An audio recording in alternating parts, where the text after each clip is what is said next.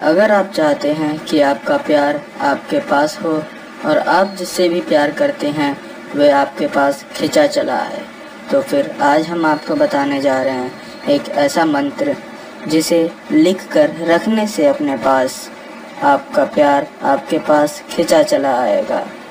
आपको यह मंत्र किसी भी मंगल या फिर शनिवार को किसी कागज़ पे लिख देना है। आपको लाल स्केच पेन से इस मंत्र को लिखना है और 24 घंटे अपने पास रखना है। इस मंत्र को अपने से दूर नहीं होने देना है और आपको सिर्फ़ तीन दिन में ही इसका असर देखने को मिलेगा। आपका प्यार आपके पास होगा, आपके साथ होगा।